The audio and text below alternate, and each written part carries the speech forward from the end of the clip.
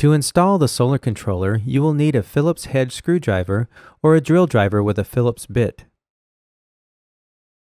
a hammer and a supply of half-inch coaxial staples available from your local hardware or builder supply.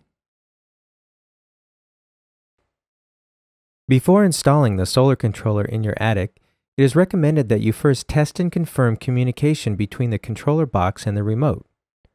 Plug the AC adapter into a power source and then plug it into the house power 12 volt input on the side of the controller box. The LCD should display the temperature and relative humidity.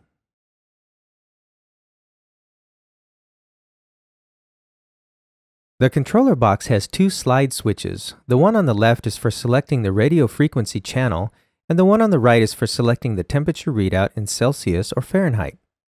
Align the radio channel of the remote with the controller box. Both of them should be on the same channel in order to send and receive signals.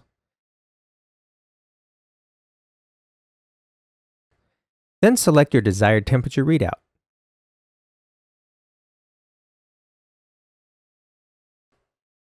Now install the included batteries in the battery compartment on the back of the remote as shown.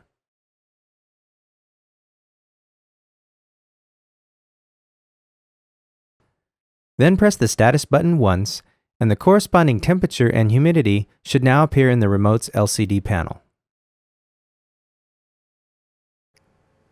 Please note, when actually installing the solar controller, it is important to follow this connection sequence. Connect the controller box to the motor first. Second, connect the controller box to the solar panel. Then connect the controller box to an AC outlet if using optional house electricity.